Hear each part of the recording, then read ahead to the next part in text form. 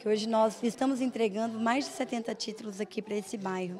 Então, só temos que agradecer a Deus por essa oportunidade mais uma vez e pedimos novamente que as pessoas que ainda não entregaram seus documentos que venham até o setor para entregar, porque ao todo são 374 títulos e ainda tem gente que ainda não levou seu documento.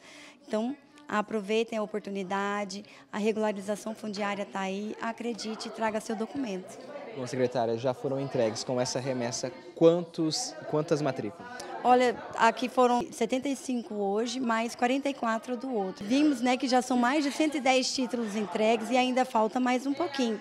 Logo, logo a gente Provavelmente semana que vem ainda vai ter mais uma remessa, então vocês fiquem aguardando que se o seu nome não está nesse lote, provavelmente estará no próximo. E buscar o setor de tributo.